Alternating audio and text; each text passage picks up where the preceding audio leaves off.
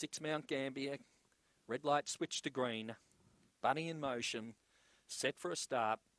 Ready and off they go. Uh, Southern Thunder won the start. Extreme Care and uh, racing through in the centre. Another Cadillac. Another Cadillac gets to the lead. In second placing Southern Thunder. Then came Extreme Care, followed by Sloan the Crow. There followed by Blazing Kiara, Jack Be Quick and Born Blue back at the rear. Off the back, another Cadillac. Couple in front. Southern Thunder trying hard. Another Cadillac in front though. Another Cadillac scores by two on the line. Southern Thunder second. Extreme Care got third. In behind them for fourth would have been Sloan the Crow possibly although Jack Be Quick and Blazing Kiara stormed home.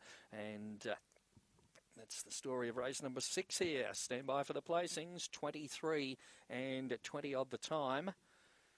And the uh, winner here is number two, another Cadillac.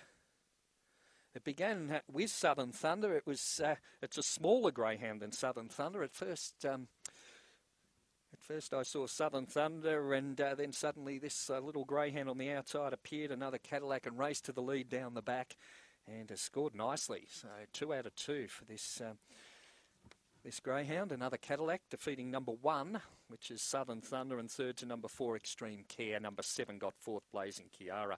So two, one, four, and seven after the running of race number six in 23 and 21 two and a quarter lengths the winning margin with one and a quarter between second and third. So two and a quarter, one and a quarter, two, one, four, and seven were the placings after race number six. Good win, strong win to another Cadillac, white and black pitch. September 19 Aussie infrared from Olivia's Ruby.